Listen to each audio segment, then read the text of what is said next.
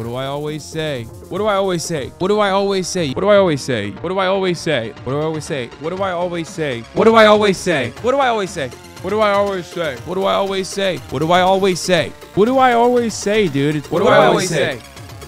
30% of Americans will agree on anything. Say the line, chat. It's like a muscle. There's no shot. Don't tap the glass. We've been talking about women's rights for far too long. How about it's time for women's wrong? Meritocracy is a fucking lie. Blammo. Rule number one, get nukes. Rule number two, never give up the nukes. Rule number three, if America or an imperial superpower tells you you have nukes, drop everything and find nukes. They want their biases to be confirmed. Kids are no content, okay? Let people be cringe. Show me the fucking pay stub. Just be fucking normal. Holy shit, dude. You go to the gym that much, you're gay.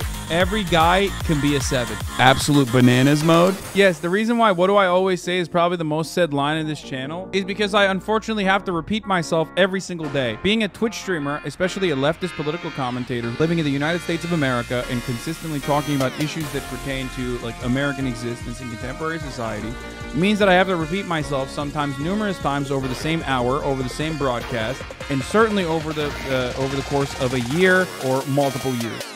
Sakura Gore, thank you for the 25 get the subs. Decked out the wazoo. In our current capitalist economic system, the gains are privatized, but the losses are socialized.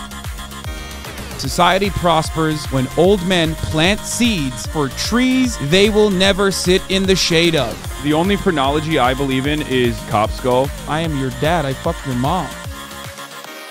That's precisely why you can look back at videos that I have cut from like 2016, 2017, even before that, and look at the exact same arguments that I am using back then and and have it apply perfectly, unfortunately, perfectly into our current existence.